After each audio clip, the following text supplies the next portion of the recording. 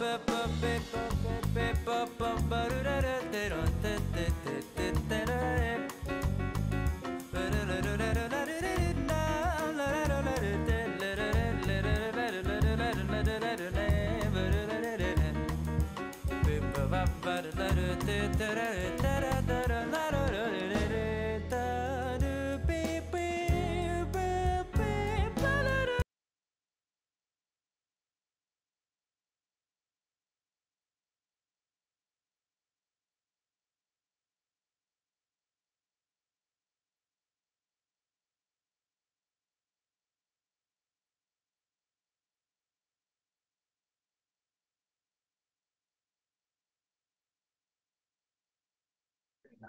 test. Ba-ba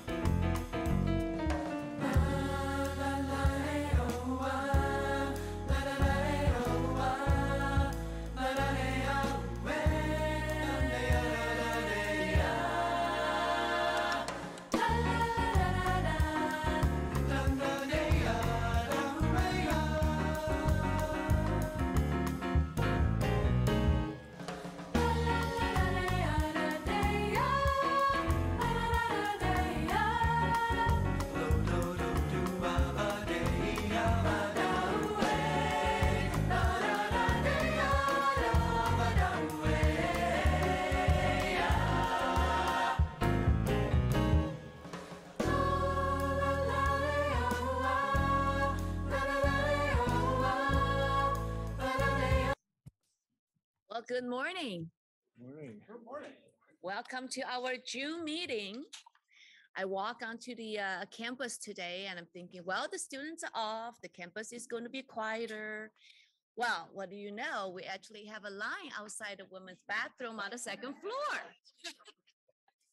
so, but it's the good noisiness. So it's all, I think, uh, all the way through from now until the beginning of fall, we're going to see the students' orientations. We have like eight or nine sessions. So it'll be very exciting time.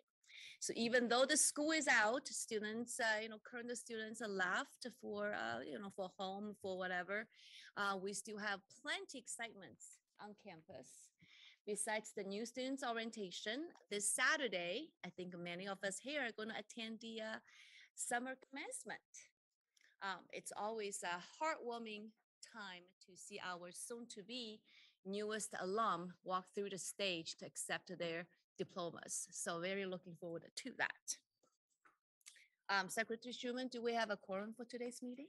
Uh, Chair Chen Zhang, we do have a quorum. We have trustee Penn uh, attending virtually, and we also have proxy votes for the action items from trustee Johnston, who is out of country right now. Thank you, thank you. And is the live streaming functioning properly? Getting a thumbs up from Jacob, it is. Thank you. And at this time, I would like to call on the board for a motion to accept today's agenda, please. Support. All in favor? Aye. Thank you. And are there any comments from our uh, board regarding the minutes from our previous uh, meetings? Madam Chair, I'll move the approval of the minutes. Support. All in favor? Aye. Thank you. So that would be for approve the minutes from our meeting on April 21st and uh, May 19th. Um, Again, thank you all for joining. Now the microphone is working. Thank you. Um, Thank you, but we are smaller and I speak loud enough, so I know you can hear me. Uh, Again, thank you all for joining us this morning, either in person or virtually. And um, as we begin, I would like to uh, extend a warm welcome to our new uh, group of uh, shared governance leaders. Um, the Faculty Senate, WSA, and the GSA all have new, uh, new leadership for the board, and they will be addressing us shortly. So we are looking forward to working with you. Um, we have a full agenda, a very full agenda ahead of us with key fiduciary decisions for the upcoming academic year on tuition, housing rates, and our operating budget, which includes compensation. And like our students on Saturday, several faculty members are facing a key rite of passage in their academic careers, as today the board considers tenure and promotion recommendations. Uh, in a presentation, interim provost Chatham will be introducing those who will receive the new professional distinctions. So congratulations to them. And additionally, we'll be hearing about another cause of celebration, the 50th anniversary of Title IX. At this time, I would like to ask President Montgomery to share his remarks with the board and those in attendance. Thank you, Chair Chen Zhang. Um, Great to have and see everybody here today, and thank you for joining us. Uh, As, as, as was mentioned, we have a number of uh, action items today, so I will keep my remarks brief. Um, But first, let me uh, take a, a moment to join you in applauding uh, our newest uh, graduates. Uh, That's, uh, they're going to reach their signature moment on Saturday. I think we'll have 1,100 uh, graduates walking across the stage and being able to confer them degree is always one of the highlights. And so uh, I wanted to, to note that and uh, to tell these Broncos how incredibly proud we are uh, of, what they've done. Uh, they've proven themselves again and again that they possess great grit and determination to achieve their successes and to reach their goals, uh, to find their own particular purpose, uh, and to begin the journey of to rich careers and, and hopefully great full lives. Uh, so uh, as we collectively move to the future, I hope uh, the challenges of the past two years will help us all develop a deeper sense of uh, compassion for others and reinforce our stores of resilience and bolster our resolve to push forward and fulfill our mission so that all may learn. Uh, again, congratulations to the graduates. We can't see, wait to see what they do next. Speaking of full careers, uh, I wanted to take a moment to recognize four individuals who are retiring from the campus this month. First, our esteemed General Counsel, uh, Carrick Craig, uh, will be uh, returning to private practice to serve clients in the greater community. But for the past 22 years, uh, it's been the university who's benefited from Carrick's deep knowledge uh, of the law, an incredibly fair-minded uh, approach and belief in the values of higher education and collegial nature. I want to thank you, Carrick, for the many years of service that you've given.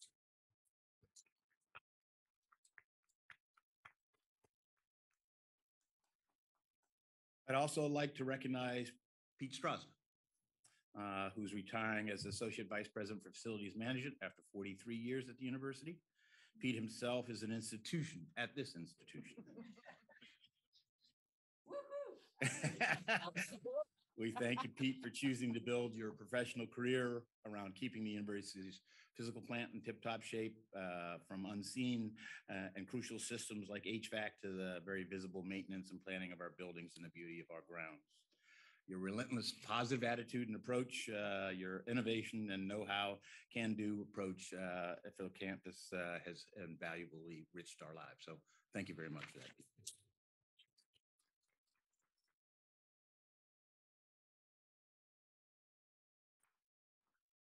And then I'd also like to recognize two people from athletics who are retiring, uh, Jeff Stone and Robin Hook.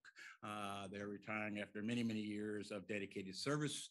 Uh, Jeff Stone, uh, his dedication to our student athletes has been instrumental in uh, driving the fact that our student athletes year after year continue to perform at one of the top academic rates for any school in the MAC. Uh, This year, I believe we had 70 student athletes with a 4.0 grade point average uh, and over a a couple hundred uh, with three fives and above. And so that's a real legacy for Jeff that he leaves behind. And for Robin, who's been known as the voice of Bronco athletics for all these years, uh, he's going to be stepping down from his uh, his role uh, in athletics as an associate athletic director, but will continue to serve as the the voice uh, of, of Bronco football and, and as well as men and women's basketball and hockey. So we can continue to enjoy that. But they both deserve uh, our appreciation for great careers at the university.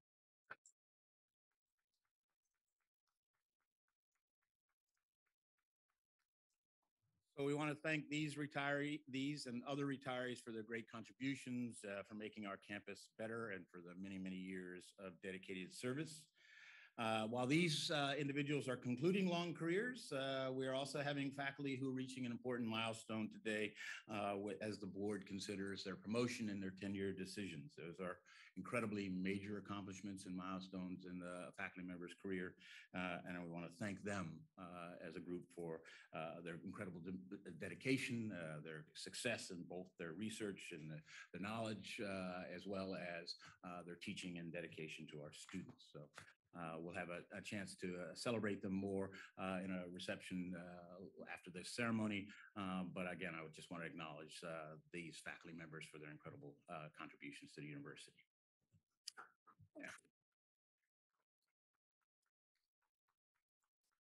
And lastly but not leastly, it's an anniversary. Uh, One year ago this month, uh, we uh, got to announce the historic $550 million Empowering Futures gift. Uh, And so as we continue to celebrate it, we're now moving into the actual implementation uh, of the gift. And, and this year, obviously, we have the Bronco Promise uh, scholarships as well as housing and dining scholarships that are going to be available for our incoming classes. We'll have graduation scholarships to help students continue uh, through to completion, uh, as well as we'll begin in the fall uh, putting in place a network of services advancing our whole person approach to higher education. These include the opportunity for paid internships, wellness resources, personal navigators, all services dedicated to promoting student success. Um, This uh, array of support will contribute to our, uh, well, to our collective efforts to make sure that Broncos are supported from the moment uh, their education begins all the way through graduation and through their meaningful careers. With that, I'll turn it back to you, Chair Chen Zhang. Thank you, President. And of the four people uh, that uh, retiring, I worked with two of them very closely. Uh, I would miss Carrick. I said, let's call Carrick. let's call Carrick. So I need to change that, change that. We'll get some time to get used to. And Pete, thanks for taking on my first day as a trustee to uh, tour the campus. And uh, I graduated from Western in 1991. So uh, it was thanks to your tour, I see what the changes have been made to the campus in all the corners I have not been to in many years. So thank you, Bill. All those people who retired will be greatly missed. Um, at this time, I would like to uh, uh, welcome the representatives from our shared governance partners. And those organizations represents the um, organization that uh, we work with very closely to guide our university forward. Thank you, Sarah. Thank you. Good morning, Chair Chen Zhang, members of the board, President Montgomery, colleagues, and guests. On behalf of the Western Michigan University Faculty Senate, thank you for this opportunity to address the board and update you on our activities. On May 12th, the 2022 to 2024 Faculty Senate Executive Board was seated. The executive board includes Vice President Bill Rance, three returning directors, Decker Hains, Kieran Fogarty, and Lisa Giacano Cook, and five new directors, Anthony DeFulio, John Jellies, Kyle Jensen, Brett Wagner, and Z Vidich. One of the Senate's core missions is to consider critical academic issues and provide recommendations to the administration through memorandums of action or MOAs. MOA 1903 recommended changes to the undergraduate and graduate catalogs and the Student Code of Conduct for Academic Integrity Process and Memorandum of Action 2201, revision of graduation requirements for a specialist degree to include a capstone option, have been approved by the WMU administration. Memorandum of Action 1910, revision of the intellectual property policy was recommended for approval by the Faculty Senate in May and has been forwarded to the WMU administration for consideration. The work of the Faculty Senate is primarily conducted through our six councils and 11 committees. These councils and committees are comprised of over 200 faculty and staff each year. Today, I would like to update you on the work of two committees, the WMU Essential Studies Executive Advisory Committee and the WMU Essential Studies Course Review and Approval Committee. These two, two committees work tirelessly on behalf of the WMU Essential Studies program. I would also like to acknowledge Dr. Jonathan Bush as the new WMU Essential Studies Faculty Director. For those of you who are not familiar with this program, I would like to spend a few minutes on its history. WMU Essential Studies was launched in the fall of 2020. The program's design and implementation took over 10 years. As a campus community, we've had come a long way since we started to rethink, redo, and implement WMU Essential Studies. A significant revision to this liberal arts core at WMU had not been addressed for over 30 years. And it was essentially a list of courses that lacked an assessment plan. And what we really needed was a comprehensive program with an effective assessment mechanism. Not having this was part of a deficit that was that was given to us by the 2010 Higher Learning Commission. In contrast, the Higher Learning Commission in 2020 highlighted the success of WMU Essential Studies, specifically the many people involved in its development and the program's assessment system, which is built upon a continuous improvement model. Throughout this initiative, there was only one MOA that was not passed upon an initial vote of the full Faculty Senate. And this MOA was to name the program. The name that failed was Western Essential Studies. The name we now have is WMU Essential Studies. Because of this failure, there are many of us that were part of this hiccup that are now very passionate that we say WMU Essential Studies. My Faculty Senate colleague, Dr. Decker Hains, would like to initiate a fine paid to the Senate for all of those who utter Western Essential Studies and not WMU Essential Studies. From 2011 to 2016 was the program's exploration phase. This included brown bag lunches, a campus-wide survey, student focus groups, and a two-day visit from a national expert. The result of this work was a self-study report with five specific recommendations that became the framework of our program. From 2016 to 2020, we built the program. This included a design committee, a logistics committee, and then finally, our permanent committee structure, WMU Essential Studies Executive Advisory Committee and the WMU Essential Studies Course Review and Approval Committee. It also included the passage of multiple MOAs and the creation of many processes, procedures, and subsequent forms. The MOAs include MOA 1606, General Education Reform, MOA 1701, naming of the revised general education curriculum, MOA 1705, revision of the WMU general education curriculum, MOA 1801, WMU Essential Studies learning outcomes, MOA 1802, WMU Essential Studies course approval requirements, MOA 1803, WMU Essential Studies student requirements, and MOA 2004, WMU Essential Studies data governance. Currently, the WMU Essential Studies program is comprised of 377 courses across three levels and 12 categories. While the goal is to have 100% of all instructors submit student learning outcome assessment data, we are currently at approximately 85%. And we think that's really good for two years into our program because we are asking instructors to collect data that they've never had to collect before. A unique aspect of the program is the requirement that students enroll in a course that has a diversity and inclusion student learning outcome and a planetary sustainability student learning outcome. Approximately 20% of the courses in the program have a diversity and inclusion student learning outcome, and 7% of the courses include a planet- planetary sustainability student learning outcome. We will be working to increase both of these. From the spring of 2021 to the end of fall 2021, so the calendar year of 2021, there have been a total of 76,767 enrollments, that's students in seats within the program. Additionally, we have just completed the first year of our four-year cyclical review process. The first three years of the review cycle is the cyclic course review, which proposes to provide insight into the, into the development and execution of the WMU Essential Studies program with a specific focus on ensuring courses meet the intent of the category they have selected, have syllabi that clearly indicate and communicate the nature of the course as it relates to WMU Essential Studies, and that the course has an effective assessment plan. This is not a curricular process, but whether a process focused on continuous improvement. The cyclic review process is completed by the WMU Essential Studies Course Review and Approval Committee with the intent of providing feedback to instructors and providing summary findings of overall course compliance and quality to the WMU Essential Studies Executive Advisory Committee. The final year of the review cycle will be the complete program review.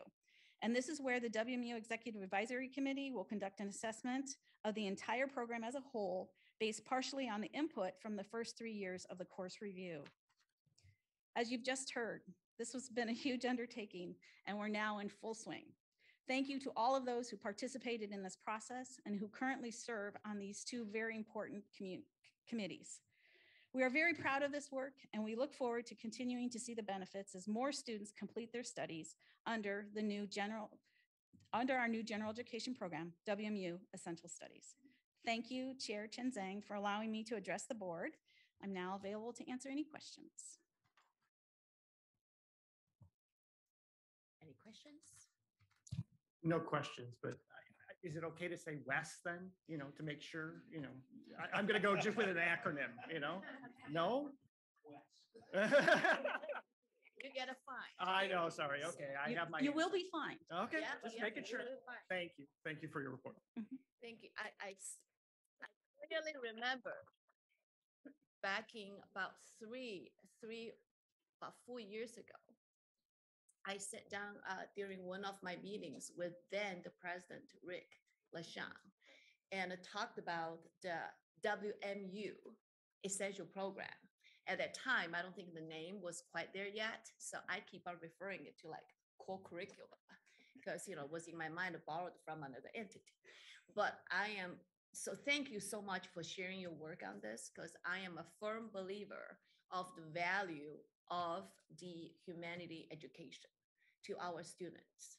Because I think what we will find out is down the road, the information, the knowledge is not going to be an issue. People can Google it, they can get it. The challenge for our students is not going to be they don't have enough information is they have too much. How they can process it with their own critical thinking skills is going to be the key for their success. And this is where the value of the humanity education comes into play. So thank you so much for your work on this.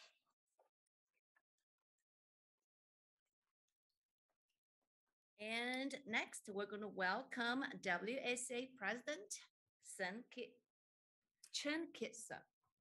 Yeah, my, my husband's last name is C H E N G, so I know how to pronounce that one. Thank you. So I'm gonna start off with some greetings first. Salam Sejahtera, Ta Jia Hao, Dai Ka Ho, and a very good morning to Chair Chen Zhang, members of the board, and everyone in attendance. It's an honor and privilege to be given the opportunity to represent the student body today. And as the first international student to serve this in this position, I took the liberty to start my greetings in my country's national language and my mother's tongue as tribute. After all, it took a century for this to happen since the establishment of WSA, denoting how far we've come in regards to diversity, inclusivity, and perseverance. To that, I would like to take this opportunity to wish Happy Juneteenth, to appreciate and celebrate the promotion of faculty members, and congratulate students who will be graduating this Saturday. And talking about graduation, it feels a little bit weird because I'll be graduating this December and pursuing my accelerated master's program in political science next year. Anyways, to keep things brief, I'll be providing some updates on what the Western Student Association has been working on throughout this summer and what our strategic goals are. As WSA will be entering its 101st year, we've, been, we've made major changes to the organization. I thank my predecessor, past President Alexis Morris, for leadership that helped mold WSA to be a more in- inclusive, accessible, and effective organization. The major changes include allowing the president and vice president to serve a more external facing role, uniting the Senate and House of Representatives as the assembly, and far more importantly, all Western student as- students are WSA non-voting members. In other words, any Western student can come forward to propose legislation, participate in discussion, and contribute in our activities. Another major overhaul we have done is revamping, revamping our logo, which I would like to thank Marcom uh, for guiding and facilitating this process. Our new logo now includes a tree, which symbolizes not only growth in general, but the idea that when seeds like students are nurtured, will flourish. The shape reflects a traditional academic banner, while the use of a diamond creates an arrow pointing ahead towards the future. We have also changed our primary colors from blue and white to brown and gold, further resembling our commitment to serve this institution and our Broncos. Indeed, there's a lot of changes, but my team are embracing it with enthusiasm and excitement. In a short span of two months, we have filled all 15 cabinet level positions with competent undergrad and grad students from diverse backgrounds. We've met at least 12 WMU departments and offices and eight student organizations to understand their challenges and work on future collaborations. We have also developed a big long program with student assessment fee SAF agencies to engage with student leaders, along with a student leadership summit that will serve as a resource platform for RSO's leaders. We, are, we have also been working with the Kalamazoo City Council on a few projects, including but not limited, limited to a student walkability audit, a student discount directory, internship and volunteering opportunities at downtown as well. This is definitely just the start, as my team and I will be running at full steam ahead starting next month. As we look toward the next 100 years, we're pivoting our organization to focus on sustainability. We'll be emphasizing a greater collaboration and coordination effort across departmental and organizational boundaries that addresses students' concern more efficiently and effectively. As we're exiting the pandemic into a new normal, there's a lot of work to do. There are challenges and obstacles that frustrate us and turns us cynical. However, I remain hopeful and devoted to turning these challenges into lessons that will strengthen our team work across campus. Thank you and onward for the brown and gold and open to any questions as well. Thank you. Well, you see all the new students on campus, so there's your work. As always said, we can say, we adults can say a thousand times, nobody listens to us, they blow us off. You, your words count to the new students. So thank you for your work. Thank you.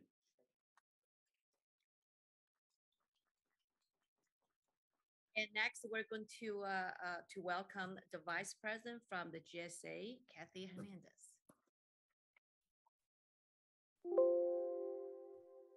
Good morning, Chair Chen Zhang, members of the board, President Montgomery, and the rest of the Western family and friends.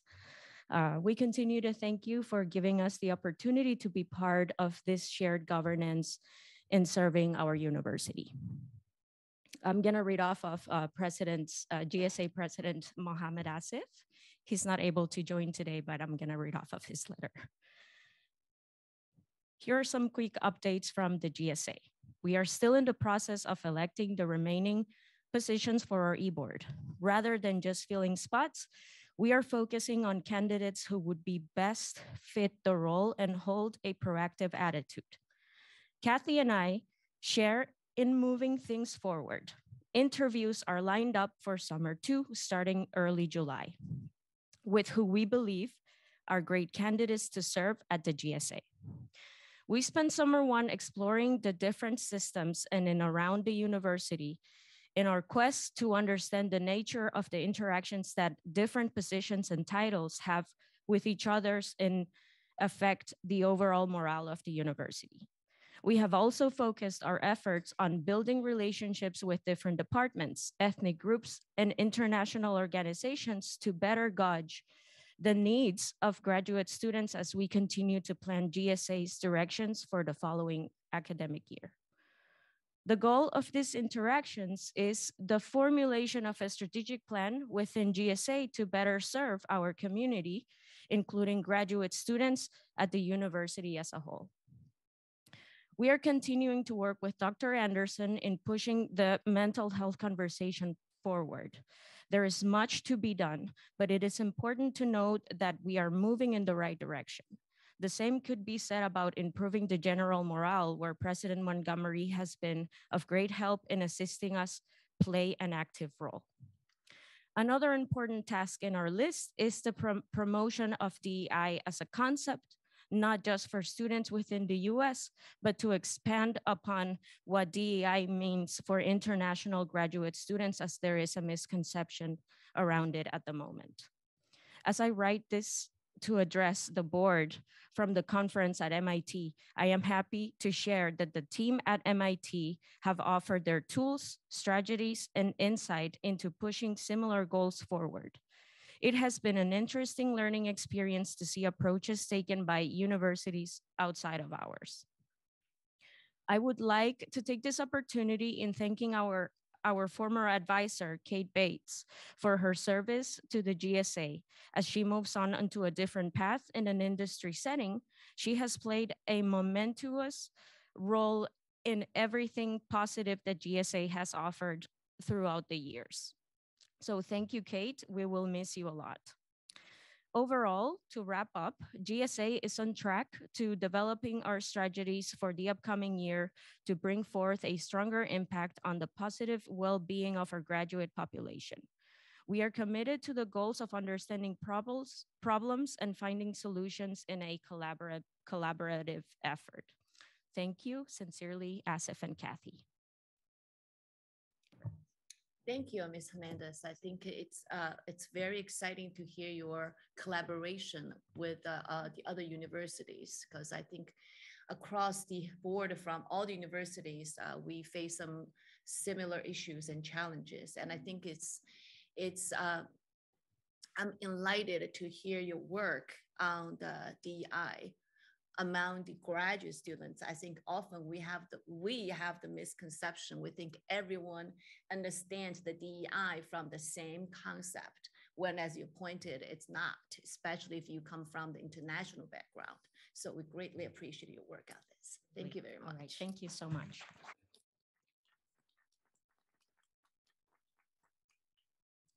So next, with great excitement, we are going to hear the uh, presentation on WMU's investment in the future, academic tenure and promotion.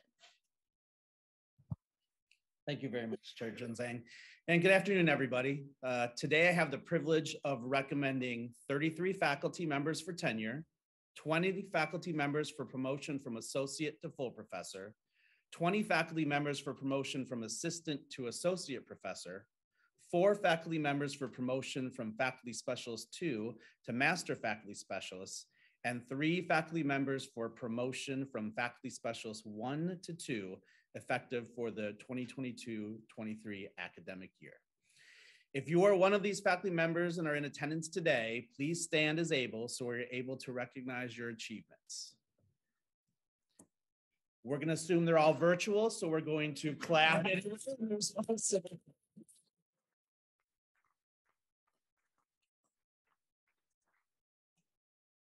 Also, please know that even though my role here is interim, I've been guaranteed that your tenure and or your promotion is not. So we're good on that. The achievement of tenure and promotion is one of the most significant accomplishments in the career of a faculty member. The process is rigorous and the review is comprehensive. Each faculty member prepares a portfolio which includes evidence of accomplishments in the area of professional competence, professional recognition, and professional service for traditionally ranked, faculty members, and professional competence and professional service for faculty specialists. Just as an example, here, here is an example of one of these, oh my goodness, um, portfolios. And I took the name off it, so we don't. Um, and sometimes we get anywhere from one to four of these for one individual. So that gives you an idea of the, of the breadth of work that our, our faculty members do.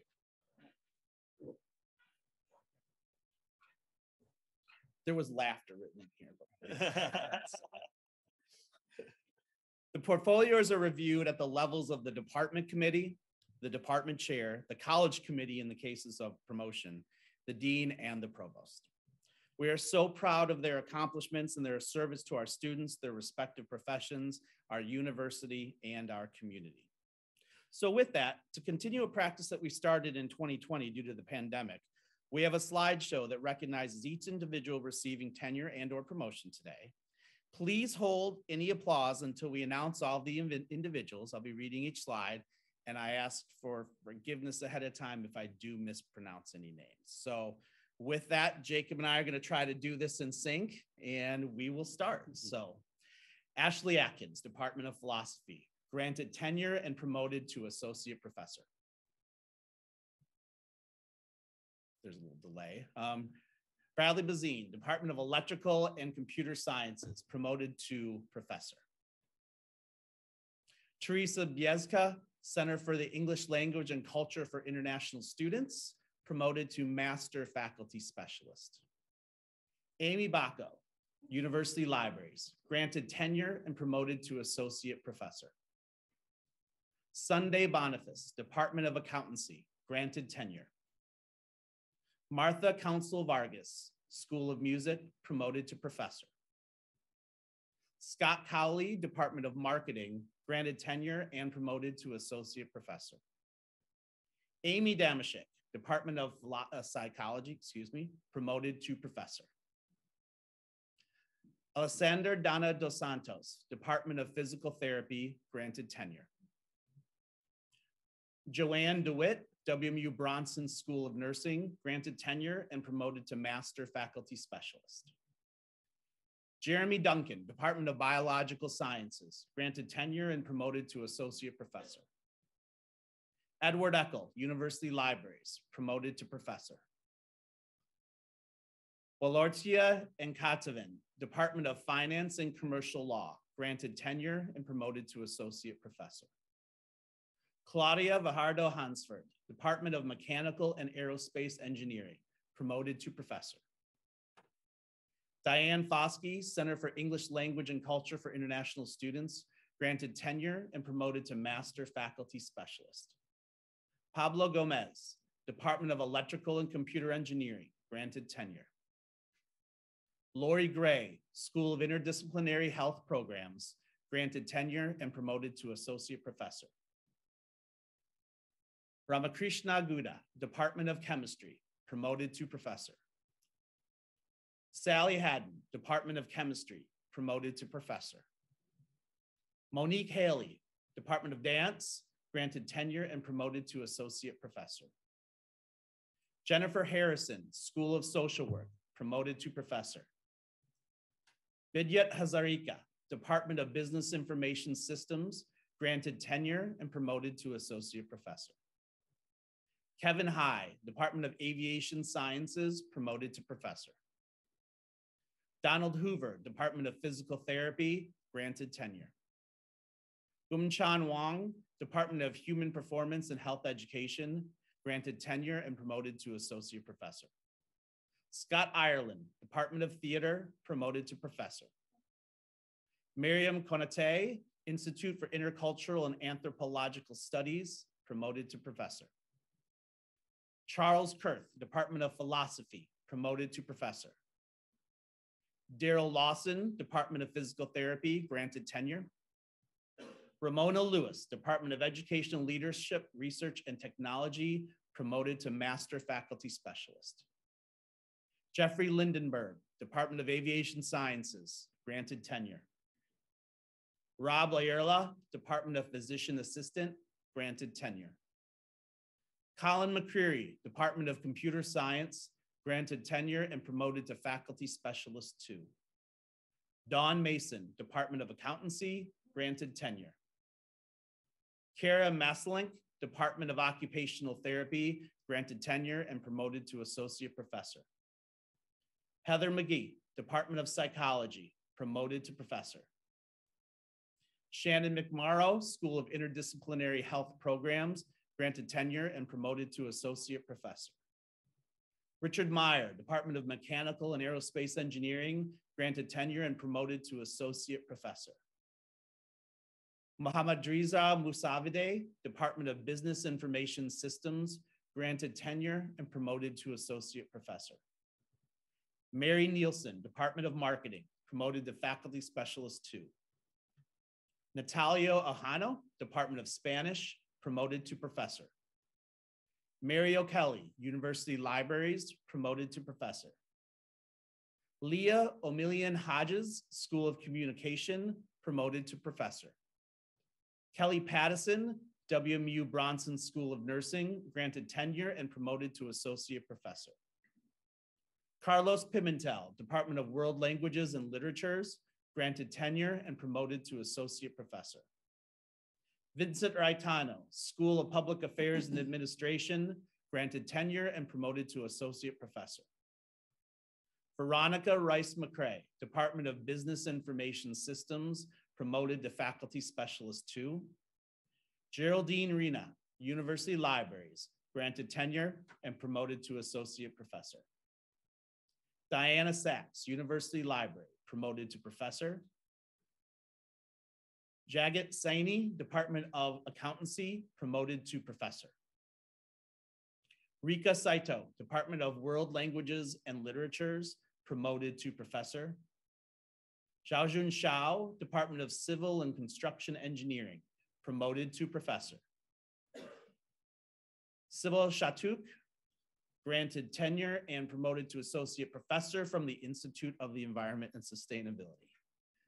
Marianne Serenga, University Libraries, granted tenure and promoted to Associate Professor. Lee Wells, Department of Industrial and Entrepreneurial Engineering and Engineering Management, granted tenure and promoted to Associate Professor. Li Zhang, Department of World Languages and Literatures, granted tenure.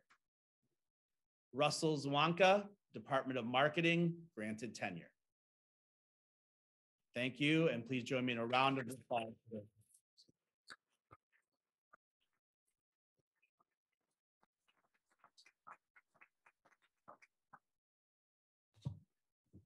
Thank you and a big congratulations to those professors and faculties on achieving this milestone in their career.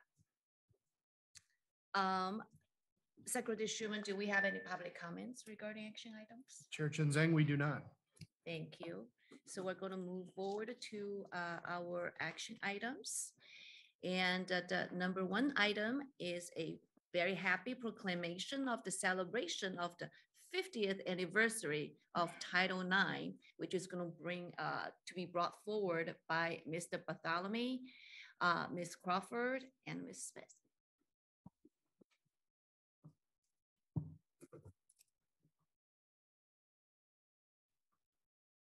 Good morning.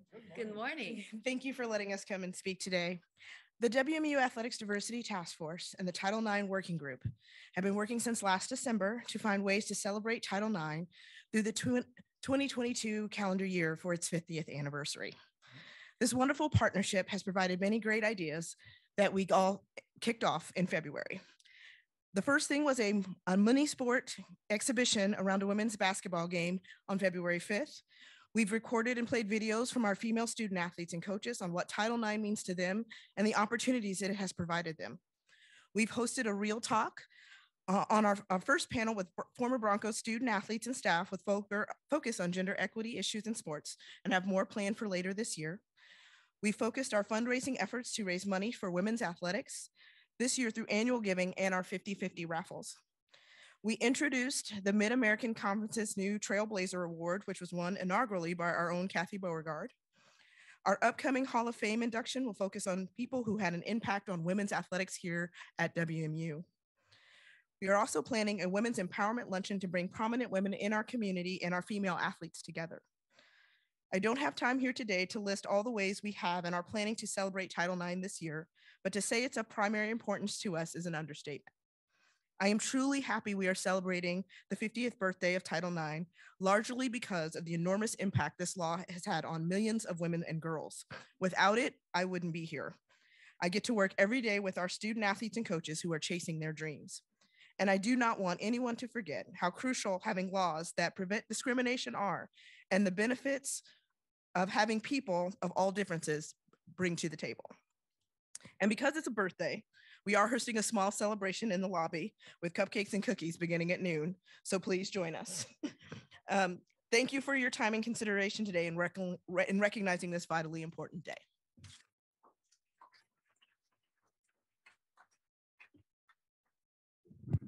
Good morning, everybody. So as, as you can imagine from uh, Kiana's presentation, we are so proud and appreciative of the great work of, of not only Kiana, but also the diversity task force led by our own student athletes and setting up all this great programming to celebrate this 50th anniversary of Title IX. In addition to the diversity task force, the leadership of, of not only Kiana, but Dr. Luchara Wallace, our faculty athletic representative, who could not be here today because she is leading a youth retreat in Dallas and changing the world as she always does. Uh, Dr. Candy McCorkle uh, and uh, Felicia Crawford. Uh, I will tell you that is a squad right there, and uh, we are uh, really proud to champion their important efforts. Uh, we're excited to offer the ongoing programming recognizing this landmark year, and particularly excited to have them culminate in the re-engagement of our Athletics Hall of Fame committee and banquet, which will take place on October 14th, 2022. Uh, in working with our committee since February, we will be presenting the first all female induction class in the history of our Hall of Fame, with members selected but not yet publicly released. As luck would have it, as Kiana mentioned, we identified early on that this board meeting literally fell on the birthday of Title IX, June 23rd. And in athletics, we never let a great opportunity for a celebration pass us by. So, as Kiana mentioned, we will have a life size birthday card in the lobby and cupcakes, and we, we hope to all see you here uh, after the meeting. Uh, we are excited to bring before you a proclamation for endorsement. Uh, this proclamation will be posted publicly on our university website and celebrated as part of our efforts to recognize the 50th anniversary of Title IX. This proclamation was drafted by our faculty athletic rep, Dr. Luchara Chara Wallace, with consultation from our office and endorsement from the leadership of WSA, GSA, the AAUP, and our faculty senate.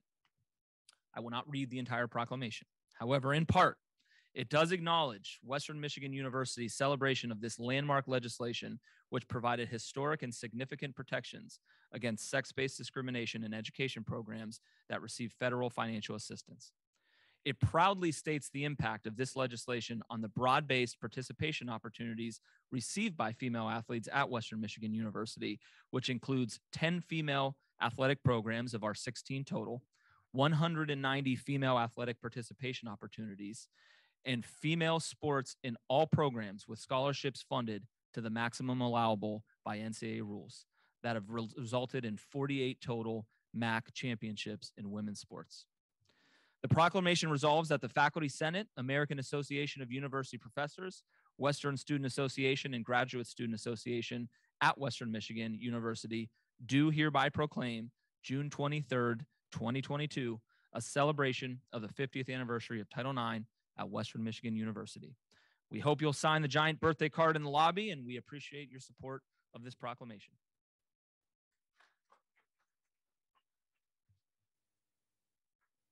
Good afternoon, Chair, Board. My name is Felicia Crawford, the Director of Title IX Compliance for the university, and I work in institutional equity. Title IX consists of just 37 words, but we now know how 37 well-chosen words backed by action can change the nation and the world. Though signed in 1972 and largely applied to athletics and admissions, in 1996, the court started to embrace a legal application of Title IX to sexual harassment. In 2001, we saw broad accountability to colleges and universities for addressing sexual harassment, and in 2011 for responding to sexual violence. Title IX has transformed into a tool to provide justice for survivors and due process rights protections for respondents. As Title IX continues to evolve, WMU remains steadfast to put a shining light on all of the paths to protections, to prevention, and for response. We want to remedy and prevent sexual misconduct on our journey towards equity. In conclusion, I provide full support for the implementation, the adoption, and the acknowledgement of the proclamation. Thank you.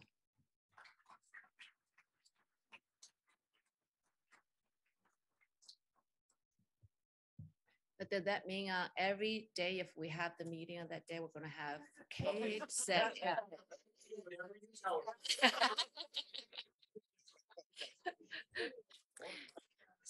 So do we have a motion to support the proclamation? So moved. Support. You got a roll call? I do, uh, and in front of me, Chair Chen Zhang, I have uh, trustee Johnston's uh, proxy report. So as we get to his name, I will call out uh, what he's provided. Um, So the vote, Chair Chen Zhang, Yes. Vice Chair Edgerton, Yes. trustee Johnston, yes. Trustee Penn, Yes. trustee Reinvelt, Yes. trustee Trevan, Yes. Trustee Turfy, Yes. Chair Chen Zhang, motion passes. Thank you and congratulations.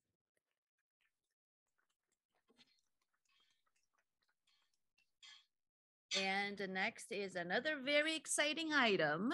Uh, Interim Provost Cheatham, please provide us the academic tenure and promotion.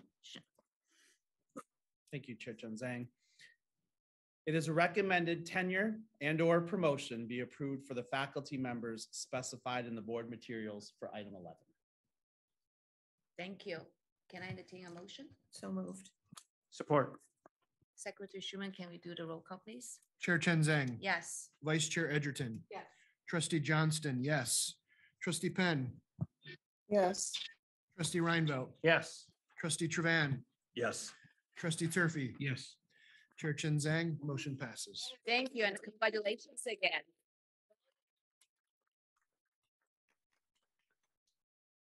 And next, the Vice President, Vanda Clay, please present the uh, Tau Labor.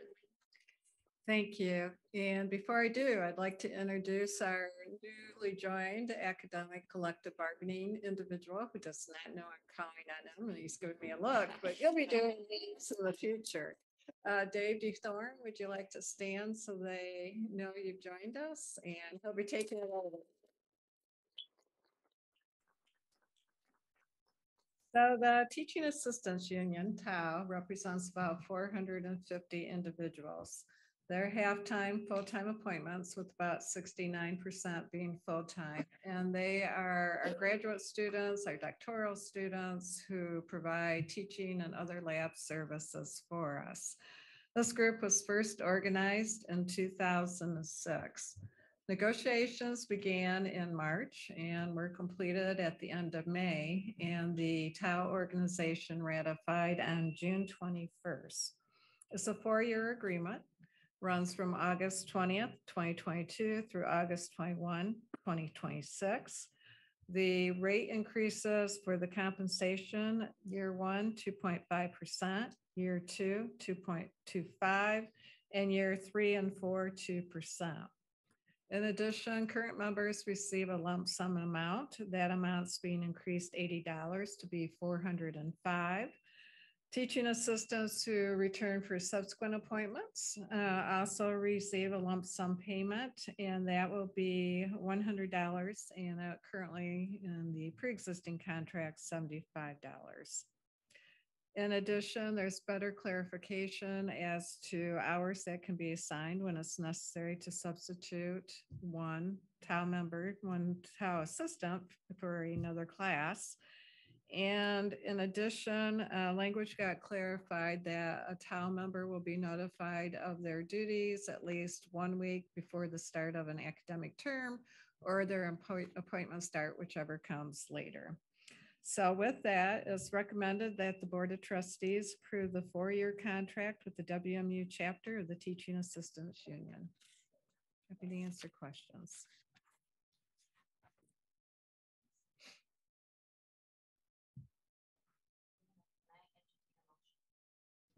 So moved. Support. Yes, uh, Chair Chen Zhang, Yes. Vice Chair Edgerton, Yes. Trustee Johnston, yes. Trustee Penn, Yes. Trustee Reinvelt, Yes. Trustee Trevan, Yes. Trustee Turfy, Yes. Chair Chen Zhang, motion passes. Thank you.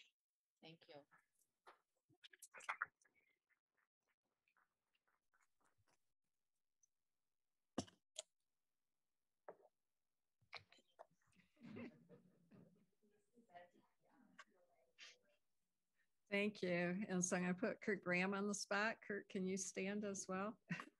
Kurt handles our administrative bargaining leads for us and was very instrumental in working with the Police Officer Association to reach this tentative agreement. So thank you, Kurt.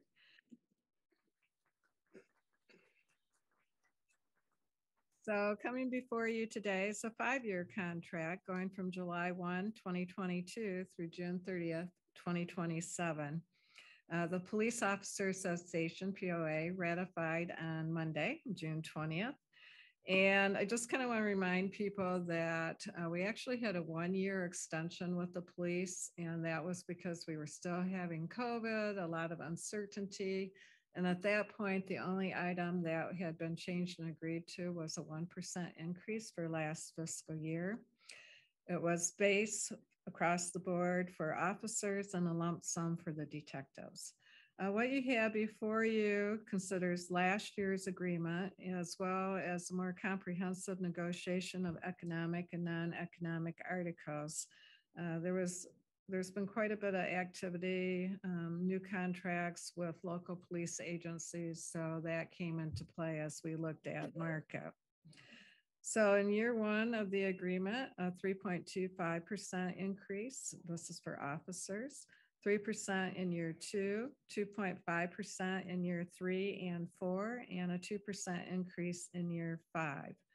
The proposed contract also eliminates the detective wage scale and includes a 3% increase to their compensation differential above other officers.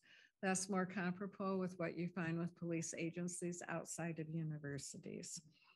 Um, we also continue, and I want to remind people that the police officers have the same medical health insurance as do non-bargaining and our faculty AAUP and continue to pay the same contributions for health insurance. So with that, uh, we're recommending that the Board of Trustees approve the five-year contract with the WMU Police Officers Association, POA. And none of the officers who negotiated could make it. Uh, Many of them work night shifts, so um, otherwise I would have identified and recognized their efforts as well.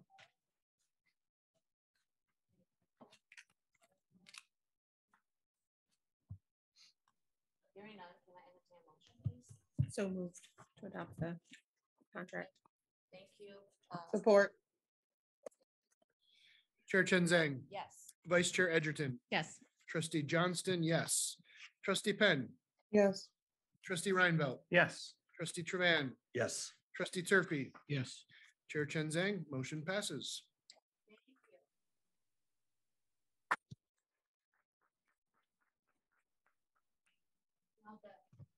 The next three items all relates to the tuition, required fees, housing, and a budget.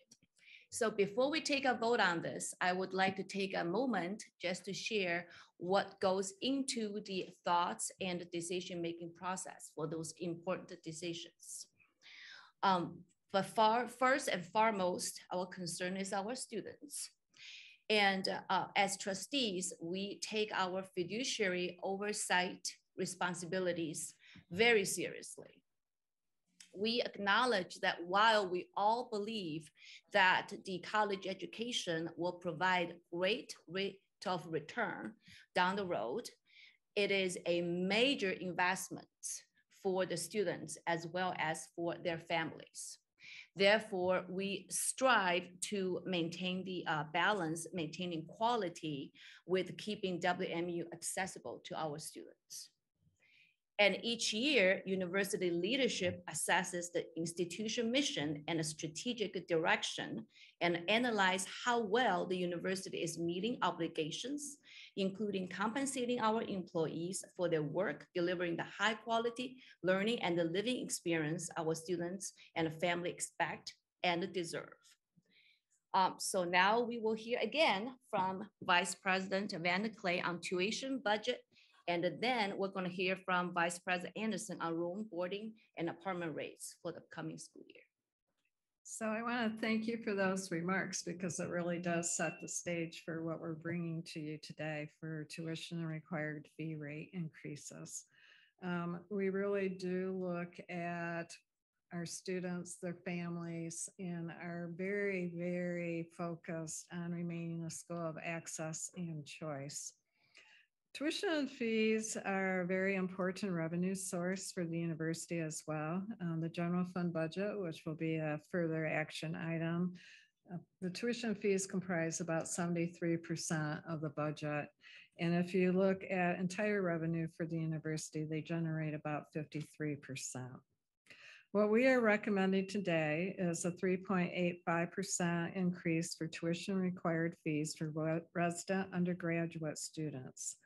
And just to kind of put some context as to what that will mean for a student and their family, a newly admitted full-time Michigan resident freshman will pay $13,950 in tuition and required fees to attend WMU for the 22-23 academic year.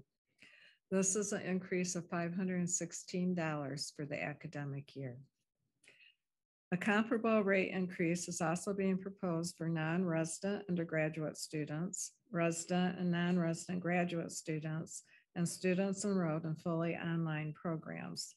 Uh, it should be noted that differential tuition is staying flat. There's no increase being recommended for differential tuition. So being mindful of the financial pressure, pressures to our students, and the proposed increase is lower than the tuition restraint language currently proposed by the governor and the Senate, who are both proposing restraint language of 5%, and the House at 4.4%. Uh, the state has not yet passed a budget, so those were kind of the ranges of restraint. And we wanted, again, looking at access with still the need of providing an exemplary education to not, uh, to try to be as conservative as we could in the increase.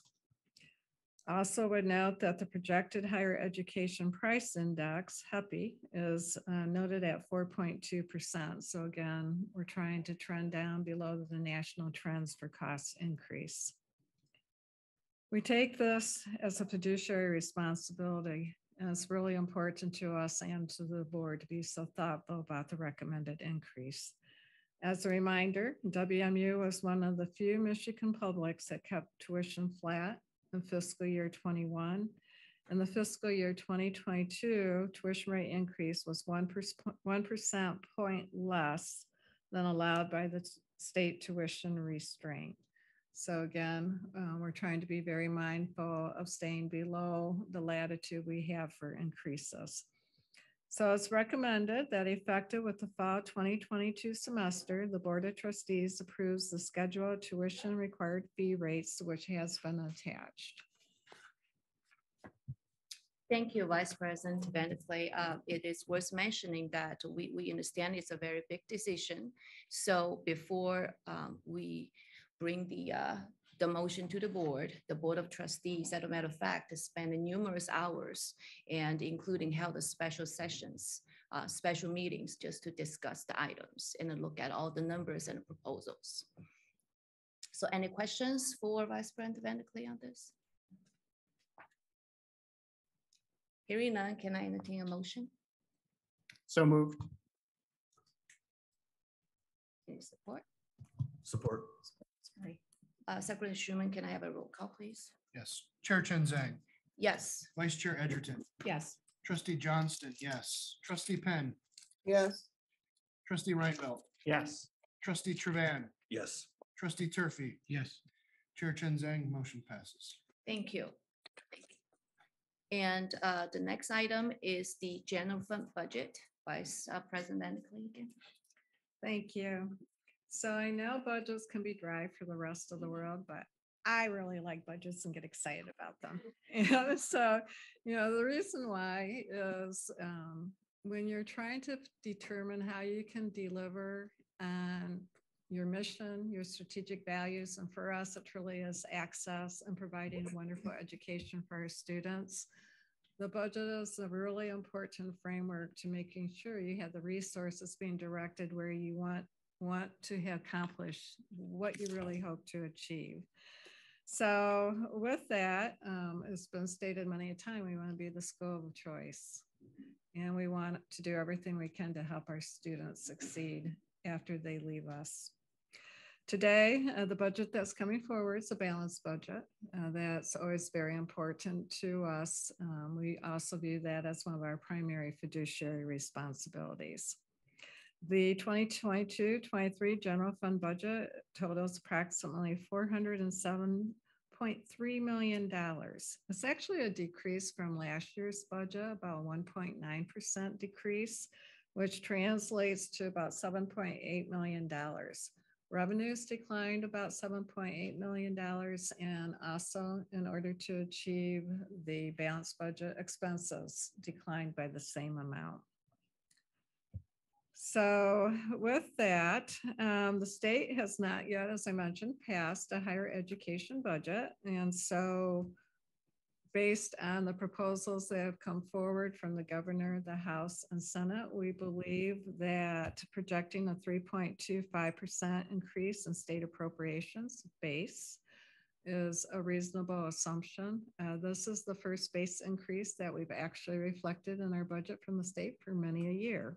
So I want to point that out.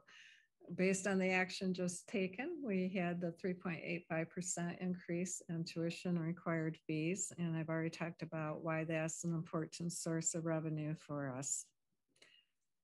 The change in budgeted revenues results from the state appropriations, tuition rate changes, and also enrollment changes. The expense side uh, recognizes compensation increases that align, align with the negotiated contracts, as well as a 2.5% increase across the board for non-bargaining employees.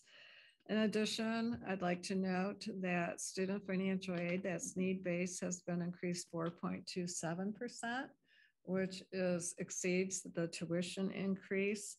And as mentioned, the Empowering Futures gift has also been very important to bring forward new aid to our students.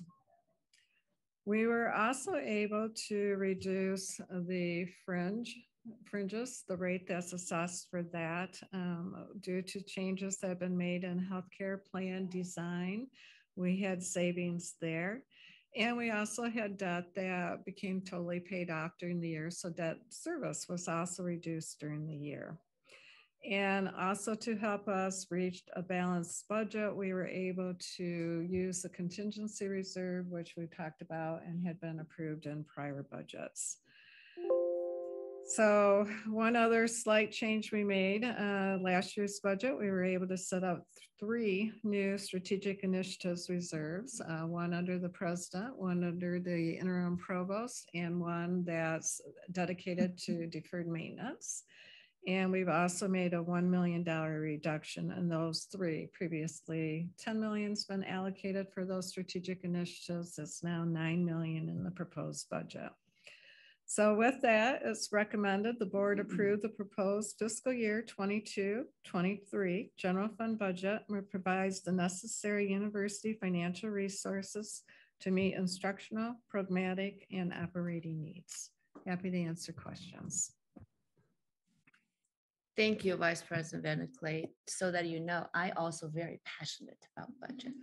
And anything with numbers, I'm very passionate.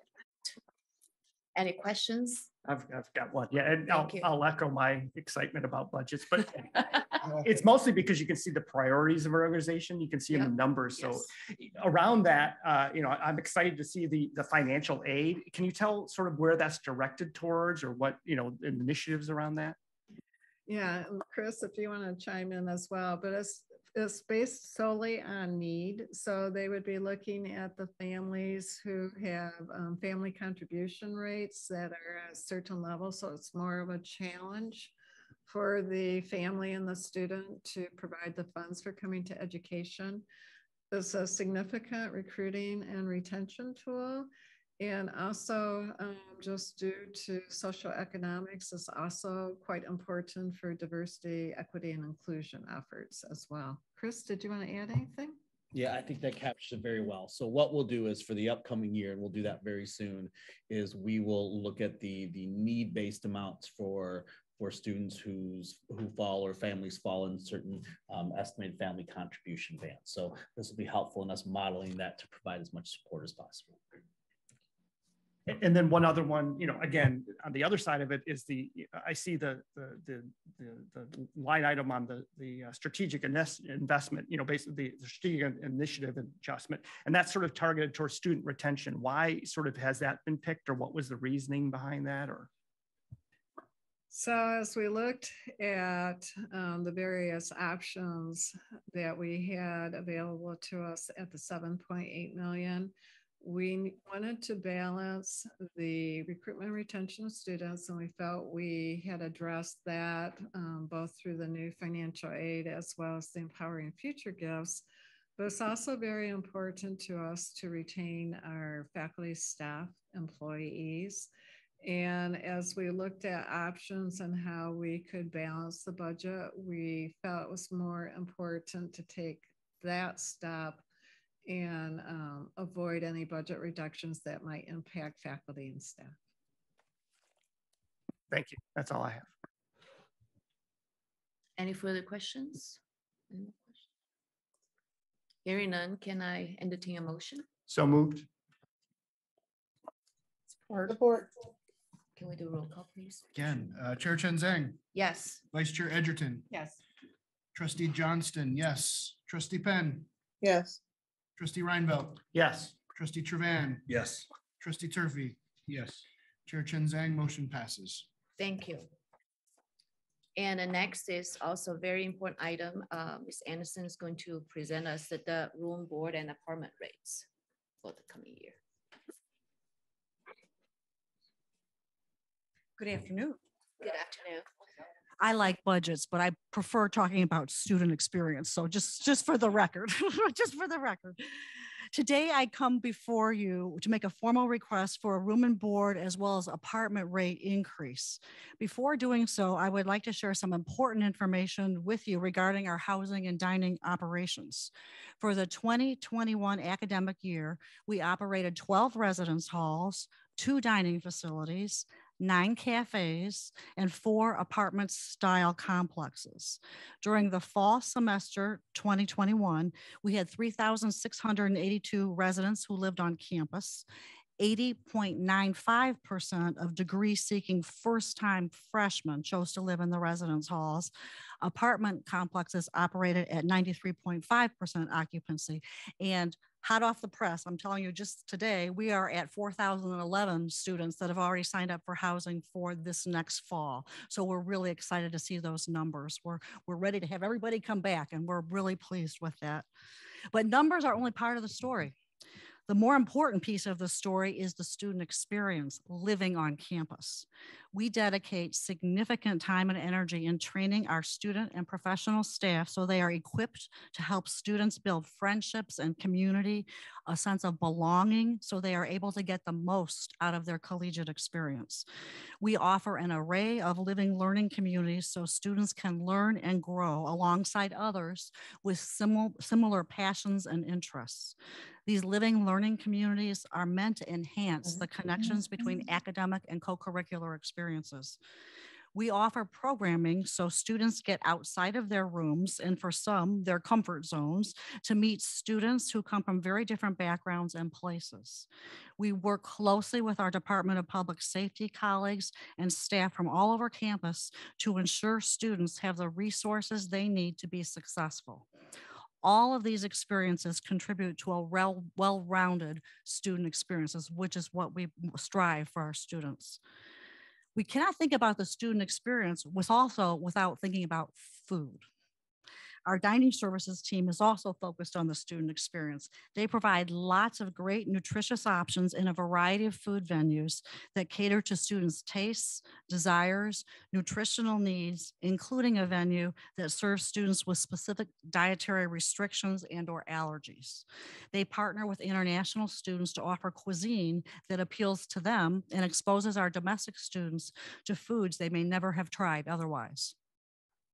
WMU is committed to creating spaces where students want to live, eat, and socialize while pursuing their academic and career goals.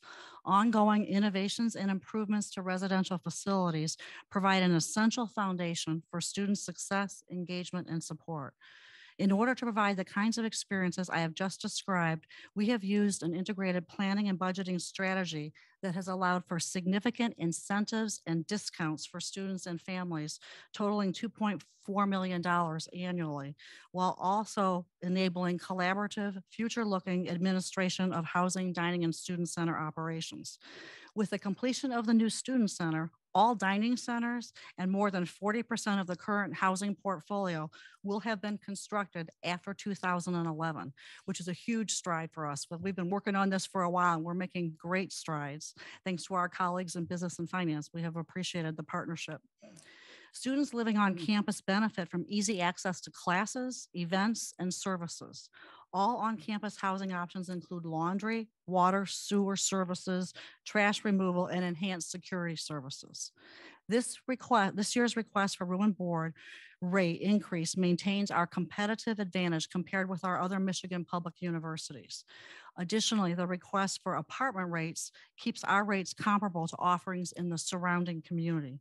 The recommendation not only continues to support and assist WMU in recruitment and retention and student success efforts, but it also supports responsible fiscal management.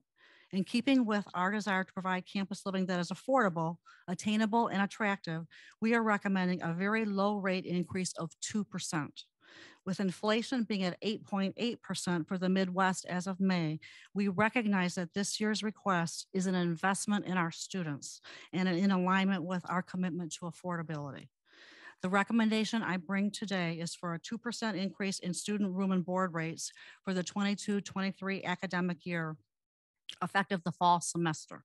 The annual cost for room and board in a traditional residence hall with a 14 meal plan option will be $10,445, which equates to a $26 per month increase. Housing costs vary according to room amenities and the meal plan student choose. The apartment rate increase I bring today is 3.75% for Stadium Drive and Western View apartments, effective fall semester 2022.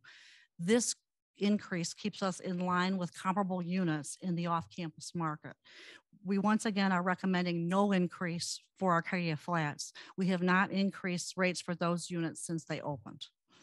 With those recommendations, I'm happy to answer any questions you may have.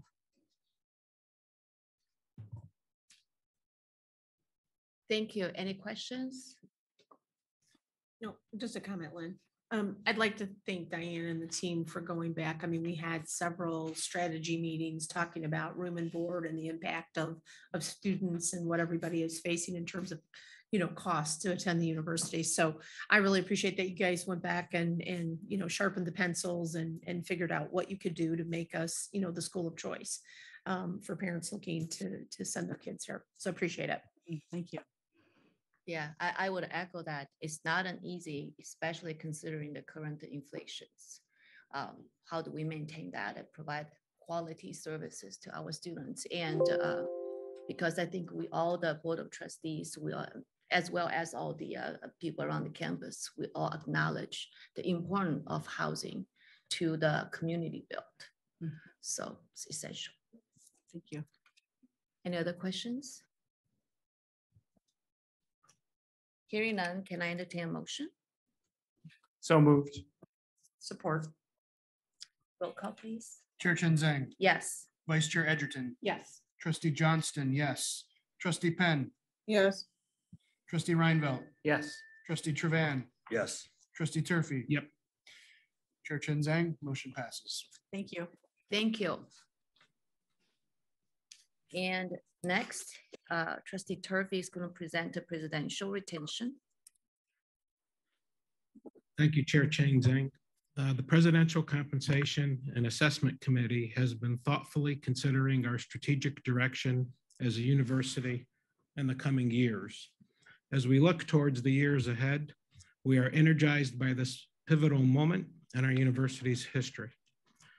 Our long-term ambitions are coming to fruition, and we are building momentum even as we emerge from the pandemic, which perpetuated an already arduous landscape of declining demographics in our state and across our nation, and a shift in the value proposition of college brought about by the shift in burden of these educational costs from the public to the student. In the face of these challenges, we have not been stymied, but instead are gaining momentum. Our students are gaining 21st century skills through our new WMU essential studies and are enjoying and are enjoying um, holistic attention and guidance through the Merze Tate College. We've attracted top flight executives who will now take our intercollegiate athletics and our research and innovation mission to new levels of excellence. And our new Associate Vice President for Enrollment Management, Dr. Charles Cotton, will now focus on the essential enrollment efforts. The historic empowering futures gifts has already begun to transform the universities and the students will begin to benefit in this fall semester. As you're all aware, the gift is an anchor for the university's comprehensive campaign and a working goal of $1.25 billion, dollars, which is the first campaign in nearly two decades.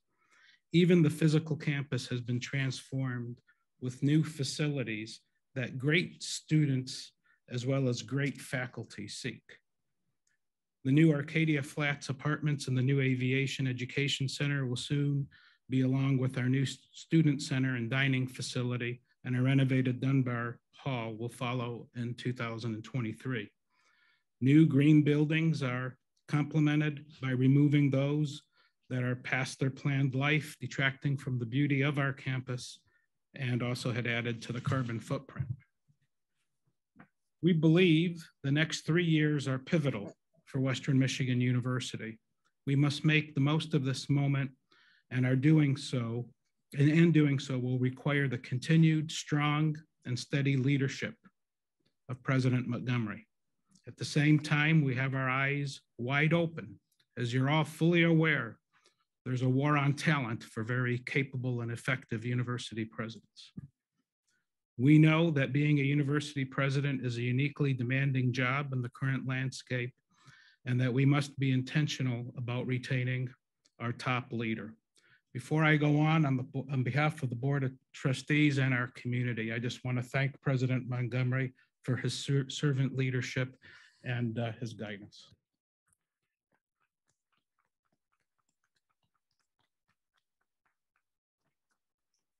Because we believe President Montgomery is uniquely positioned to lead Western Michigan into the future, especially over these next three years, we have recommended a deferred compensation plan of $10,000 a year for the next three years. Funds would be deposited in this deferred compensation uh, account on or before July 1st, 2022. President Montgomery would be vested at 10,000 each year thereafter if he is serving as president of Western Michigan University on July 1, 2023, July 1, 2024, and July 1, 2025. Vested funds for which he is eligible will be available to President Montgomery upon his separation from the university. And of course, any unused funds would be returned to the university. I want to make it clear that this is not a performance bonus and does not otherwise change any of the other terms of his contract. It is an additional provision intended to retain our top leader at a crucial time in our history that has the potential to catapult Western into new levels of excellence and impact. I'll now read the resolution for board approval. It is recommended that the board establish a deferred compensation plan for President Montgomery in the amount of $10,000 per year for the next three years. These funds will serve as the president's annual raise at a rate of approximately 2% per year.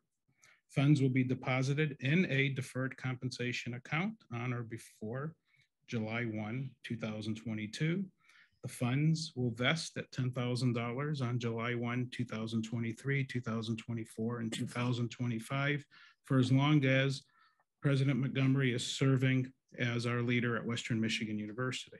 Vested funds for which he becomes eligible will be available to President Montgomery at the time of his separation from the university. And as previously stated, any ineligible funds will be returned to the university. With that, I'm happy to answer any questions.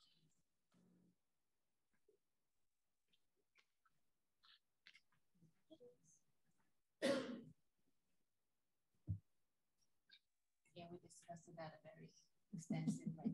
All right, very extensive. Yep. So hearing, none- hearing none, can I uh, entertain a motion? I So so. moved. I support. As you can see, we've worked really hard on this. Chair Chen, Yes. Chair Edgerton, Yes. Trustee Johnston, yes. Trustee Penn, Yes. Trustee Reinbelt, Yes. Trustee Trevan, Yes. Trustee Turfy, Yes. Chair Chen Zhang, motion passes. Thank you. And thanks, uh, we appreciate the committee's work on this. Um, and coming next is, uh, the Kendall Center Battle Creek property sale brought by, uh, Vice President. And this is my last one. So uh, March seventeenth, twenty twenty-two meeting, the Board of Trustees approved the sale and transfer of the Kendall Center to the city of Battle Creek.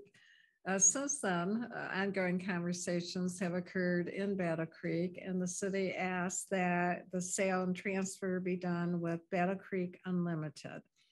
This private entity is actually responsible for strategic investment within Battle Creek as well as job creation.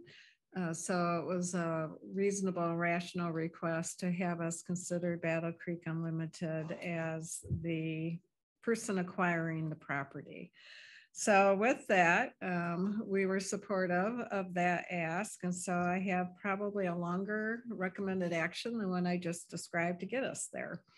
Pursuant to the retained powers of the board regarding the transfer of real property, as recommended, the board approved the sale of the Kendall Center to Battle Creek Unlimited for one dollar and authorizes the president, treasurer, or assistant treasurer, the authorized officers, to finalize and to negotiate and execute any deeds, easements, closing statements, agreements, or documents, and to take such other actions necessary or convenient to effectuate and complete the transactions contemplated herein with such modifications as they or any one of them may approve as reasonable or necessary. There are no other changes to the agreements that we're aware of, other than the introduction of Battle Creek Unlimited versus the city of Battle Creek. Any questions? Hearing none, can I entertain a motion? So motion. Moved and supported? Uh, Chair Chen Zhang, Yes. Vice Chair Edgerton, Yes. Trustee Johnston, yes. Trustee Penn, Yes. Trustee Reinbelt, Yes. trustee Trevan, Yes. trustee Turfy, Yes. Chair Chen Zhang, motion passes. Thank you. Um, then next is the consent items. If anyone would want to remove uh, any of the consent item items for uh, future discussion, for further discussion? Hearing none, can I have a motion to pass the consent items? So moved. Support. Chair Chen Zhang, Yes. Vice Chair Edgerton, Yes. trustee Johnston, yes. Trustee Penn, Yes. trustee Reinbelt, Yes. trustee Trevan, Yes. trustee Turfy, Yes. Chair Chen Zhang, consent items pass. Thank you, Secretary Schuman. And are there any general public comments? There are not. Thank you. With that, we're gonna have uh, two celebrations. Anyone want some cakes downstairs? And then we have the ten-year promotion celebration. We'd like uh invite people to attend to celebrate. And with that, meeting adjourned. Do I have a motion to adjourn the meeting? Sorry. So I have a motion to So adjourn. moved. Support. Support. All in favor? All in favor? Aye. Meeting adjourned.